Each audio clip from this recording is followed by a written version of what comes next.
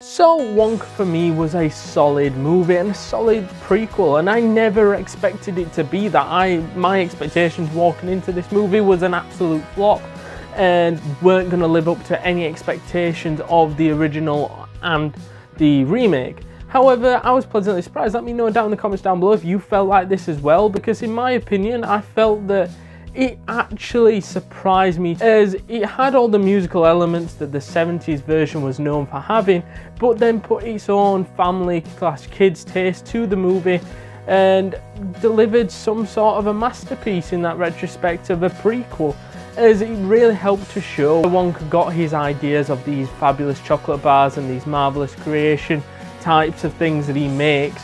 And we see that that came from his mum and the love of the chocolate came from his mum as well. And I think that was even more special.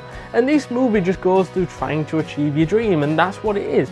It's him building up his repertoire and building everything towards getting a shop and getting a factory that we see in obviously Willy Wonka and the chocolate factory and also in Charlie and the chocolate factory of him owning the massive chocolate factory and him being one of the best uh, makers of chocolate in the world. On the problems that Willy Wonka had to go through to be to get to the levels where he wants to go and the dreams he wants to aspire to, he has to go across competitors in which are not normal competitors which are looking to rival each other. They're trying to get him arrested for basically selling on their patch and having better chocolate than they do and they try killing him, they try to get him arrested, they try to keep him away from selling the chocolate because they know his chocolate is 10 times better and that they will lose customers and lose a lot of revenue if he starts to sell his chocolate and want to disrupt in that way. We also see that Willy Wonka has to pay his accidental debt that he racks up in Mrs. Scrubitt's wash house, in which was really, really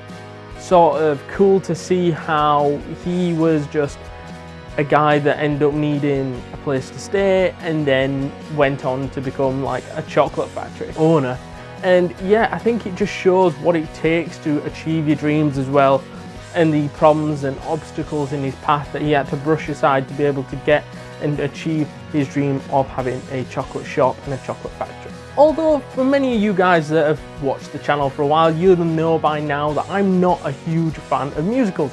However, I'm just going to turn around and say this, this surprised me because I actually enjoyed it it was weird. I'm not a massive fan of musicals like Frozen and the rest of all these crap musical type of movies. However, it actually worked as a musical, if that makes sense. It actually worked because the story made sense, the reasons why he was very cheerful at times and sad at other times. I feel that they got the tone right and it was a good like take on of what the original one was.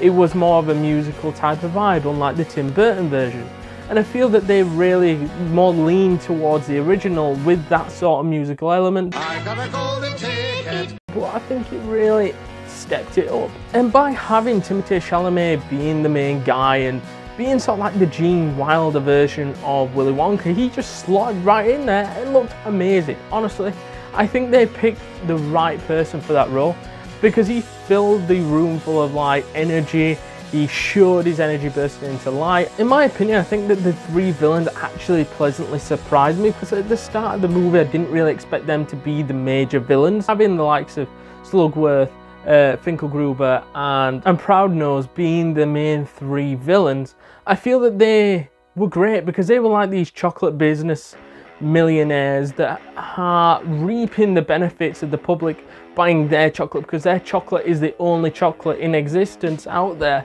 and they water it down they don't make it quality they give you a little bit because they're saving all this quality chocolate up to pay people uh, like they do with the chief of officer of police and that was really such a great plot angle of them not using money to pay people off and bribe people to like keep your mouth shut with being a bit dodgy, being very corrupt. On the ending, I felt it was always going to go down this way. We knew what was going to happen he's gonna have to get his chocolate factory and his shop to be able to give it away in the Willy Wonka's chocolate factory. In the next film if this is connected to the 70s version he's still gonna have to give away his chocolate factory. How can he give away his chocolate factory if he does not own it? All there black and white clear as crystal.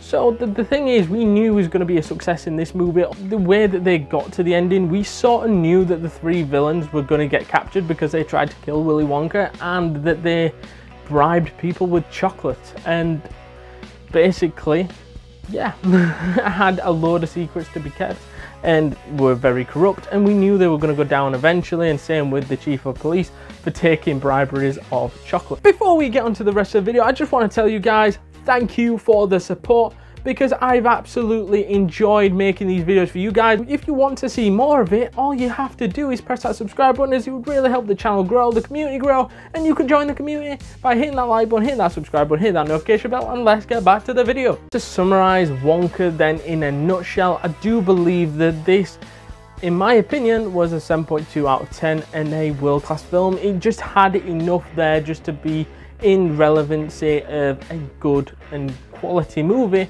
Although what I would say is, in my personal opinion, you guys at home may disagree. If, if so, let me know down in the comments down below. Which is, do you think it's better than the original? Do you think it's better than the remake? Is it on their level? In my opinion, they are not on the level of any of those two but they're just slightly behind and the expectations were never going to be met in that way, shape or form, hence why I've rated it 7.2. But let me know down in the comments down below your thoughts are. Is it good? Is it bad? Is it terrible? Is it amazing? Let us know down in those comments down below, please. Also, we have noticed not enough people who smash that subscribe button. Yes, you guys at home can do us a massive favour. Hit that like button, hit that notification bell, and don't forget to subscribe. And I shall see you guys in the next one. Bye.